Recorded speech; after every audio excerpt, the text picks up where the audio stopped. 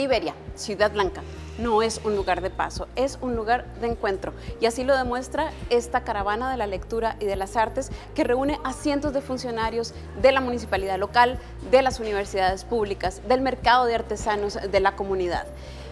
Esta cantidad de personas ofrece una cantidad de servicios que ayudan a promover una necesaria lectura en este cantón. Acompáñame y conozcamos. En la Biblioteca de Liberia, una comunidad de aproximadamente 56 mil habitantes se prestan unos 500 libros al mes. Es un indicador que quiere ser mejorado. La caravana de la lectura y de las artes busca fomentar la práctica de leer. Es un esfuerzo de las editoriales de las universidades públicas para ofrecer por dos días consecutivos actividades relacionadas con la lectura, artes visuales y música. Esta vez, principalmente estudiantes de escuelas, colegios y universidades de Liberia tuvieron este encuentro con los libros.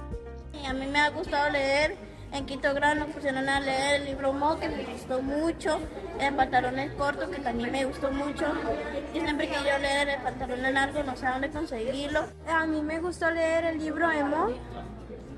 Eh, este, estoy leyendo, eh, ya leí pantalones cortos y me estoy leyendo pantalones largos. Me gusta expandir mis conocimientos hacia distintas materias, no importa de qué sea.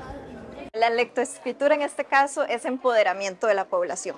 Si contamos con niños y niñas quienes tienen algún rezago o falencia de este tipo, pues les estamos reduciendo las oportunidades y la manera de ver el mundo desde su perspectiva y de una manera crítica.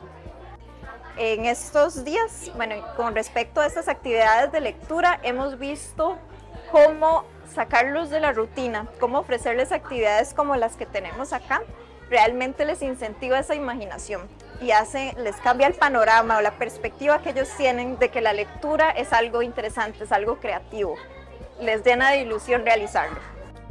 Los libros son objetos poderosos que pueden estimular procesos cognitivos de socialización que crean capacidades de crecimiento y creatividad. La Caravana de la Lectura ofreció en Liberia títulos infantiles y otros relativos a la región chorotega, un esfuerzo por hacer de espejo a los visitantes y evidenciarles que en las páginas de los libros se habla de los propios habitantes de la región.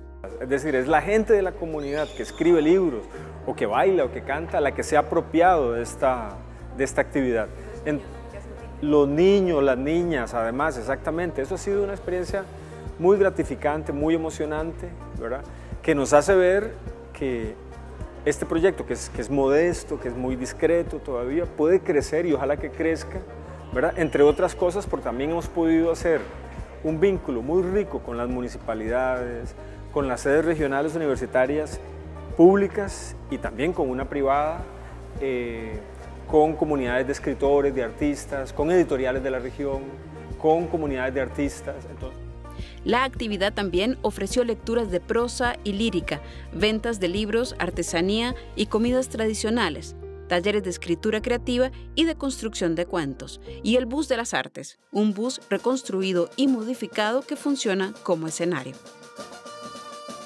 Un pueblo que no lee se convierte en caldo de cultivo para la pérdida incluso del mismo sistema democrático, algo que la caravana de la lectura y los liberianos no quieren que suceda.